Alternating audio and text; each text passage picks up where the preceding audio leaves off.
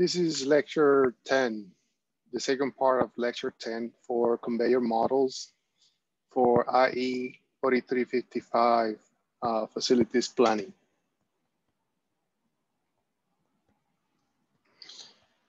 As always, we start our lecture showing the course objectives and highlighting the, the objective that is connected with the material presented in this uh, video lecture. Uh, so in this case, is objective number one, which is to develop an understanding of the principles of facilities location, layout, and material handling systems, and to practice designing facilities. So this, this lecture is a, is a continuation of the, the previous uh, video lecture in which we consider conveyor loop with deterministic loading and unloading sequences. Uh, what this means is that by, by meaning the meaning of deterministic loading and unloading, what that represents is that in this type of problems, we are assuming that we know from, from, from the beginning the number of units that are going to be loaded and unloaded and the sequences. For the second part, which is this video lecture, we're gonna focus on conveyor loop with Poisson arrivals meaning that we are adding some uncertainty into the loading and unloading uh, sequences for conveyors with discrete carriers, with discrete carriers. So the idea now is to uh, relax that assumption that, that we know for sure, I mean, we are assuming deterministics uh, loading and unloading sequences. Now we want to add some, some uncertainty in terms of adding the Poisson arrivals uh, that are represented by the Poisson distribution. So the learning objective for this lecture are to learn models for specific type of conveyors and understand the basic procedures for calculating um, horsepower requirements for power belt and roller conveyors.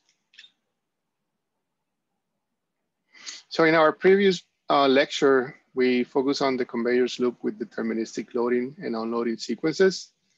Uh, so this is more like a review. We started by considering this general example in which we have uh, multiple workstations located around the conveyor. Uh, they are discretely spaced carrier carriers. And then you have um,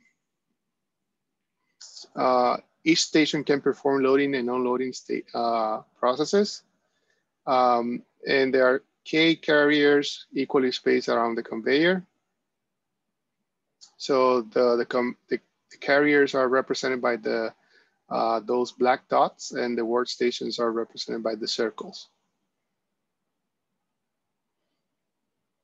So again, this is a, a, review from, from the previous video. So here's our, our discussion on in terms of the, how are we gonna, so the idea is to knowing the system, so a system like this in which you have these carriers and then you have these stations that are loading and unloading, you want to determine the capacity uh, for the, the carriers in terms of how many units the carrier should load uh, based on the operations that are performed around the conveyor. And we went through this in the, in the previous uh, video lecture. What I wanted to highlight is that the, the, the deterministic aspect of loading and unloading sequences. So if you have a deterministic problem, which you know for sure how many units are going to be uh, loading and unloaded per station, then you can follow this methodology that we discussed in the previous video that will tell you, or at the end, after applying the methodology, you will be able to determine the capacity for, um, for the carriers. So in this case, in this example, that capacity was equal to four.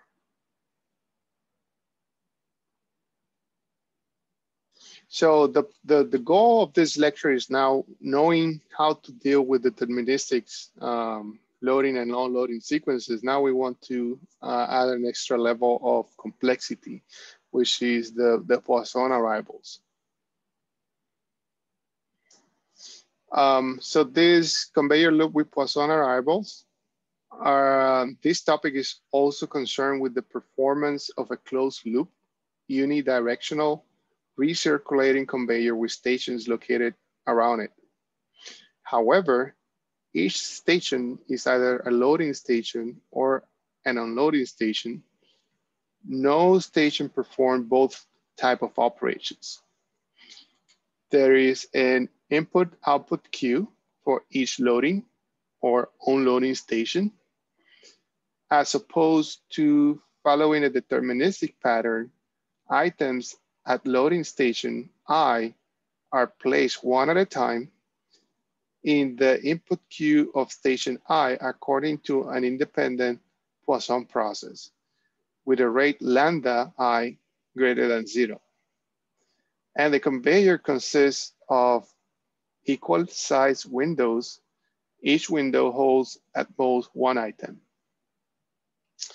Various conveyors such as the trolley conveyor, in which the carrier represents a window, tilt tray conveyors, in which the tray is equal to a window, and cross belt conveyors in which the belt position is equal to a window that is represented in this uh, uh, explanation fit this second model, the conveyor loop with Poisson arrivals. The conveyor has a user specified constant length and speed. So we, we are specifying that from the beginning.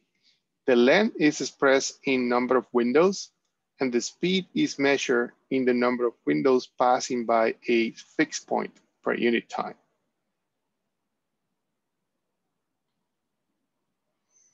So here's some of the parameters.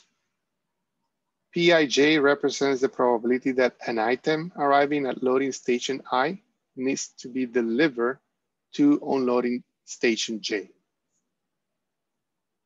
Okay, so if you have four stations, then there's a probability that, um, let's say two of those stations are loading, two of those stations are unloading stations. So what is the probability that if you have two stations, uh, from one loading station goes to one of the other chip. So that's the probability. Um, then we have Fij, which is the flow rate from station I to J. The flow rate or Fij is gonna be equal to the lambda I times the probability Pij.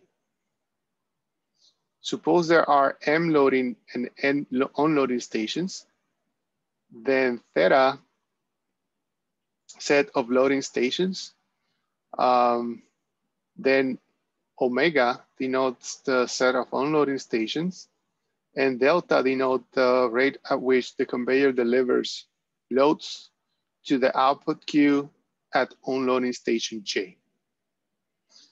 From conservation of flow, we must have the summation of lambda has to be equal to the summation of deltas, um, which is loading versus unloading has to be equal. To derive the stability condition, the conveyor loop is divided into K segments denoted by S1, S2, up to SK. Okay, so a segment in this case is showing this many windows. So SI here has this many windows.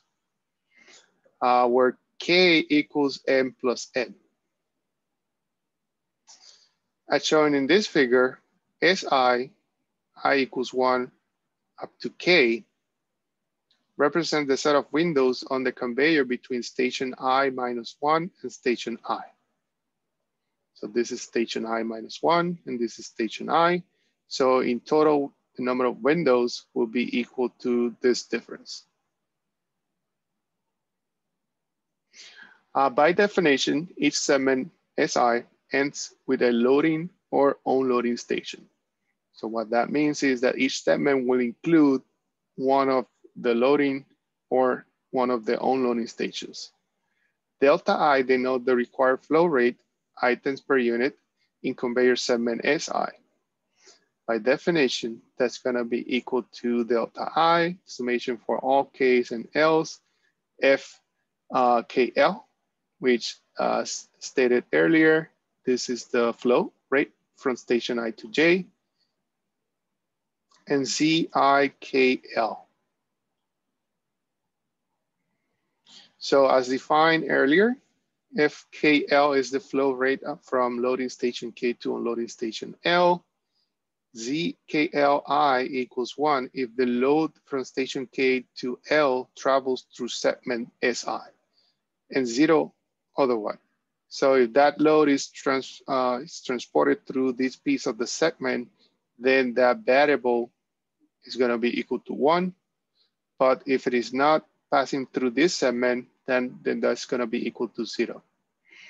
V denote the speed of the conveyor and QI denote the ratio of the required flow rate in segment I to the speed conveyor or to the speed of the conveyor.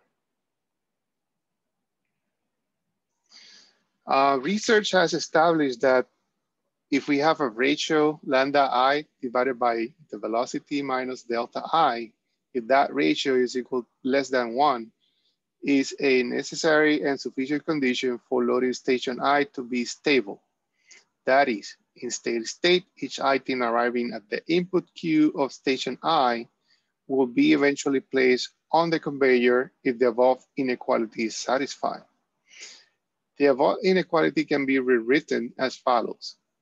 Uh, we can look at, uh, if we solve for B, uh, you'll get the same. Defined as the stability factor for loading station I or SFI. Hence, the conveyor loop is stable if and only if this SFI is less than one for all i's in, in theta. That is if and only if this ratio is satisfied. So let's consider this um, example in which we want to determine the minimum required conveyor speed. Consider a closed loop unidirectional conveyor loop with 52 windows as shown in this figure. Four stations are located around the conveyor. So we have the numbers one, two, three, and four. Um, four and two are loading stations. Three and one are unloading stations. Suppose that lambda equals two, 30 items per minute, and lambda four equals 20 items per minute. Suppose that the probability two to one is, so the probability of going from um, loading station two to loading station one, unloading station one is 60%. And the probability of going from two to three, which is right here, is 40%. Same thing here, from loading station four to unloading station one is 0.25 the probability. So it's making this huge loop right here. And point uh, probability of going from four to three is 75%. Assuming the conveyor turns in a clockwise direction, so it goes in this other uh, clockwise, meaning that the conveyor is going to rotate this way.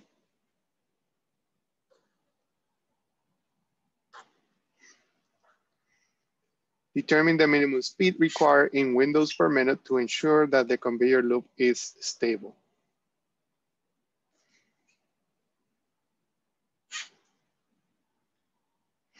So, um, so we start with determining the flow rate from station I to J. So flow rate from two to one is 18, from two to three is 12, from four to one is five, and from four to three is 15.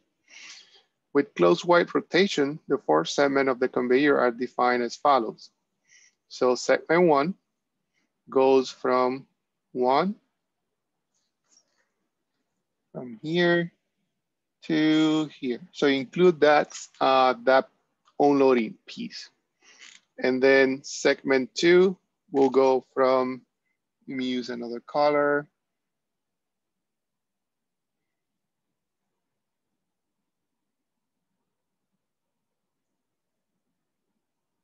We'll go from 12 up to here.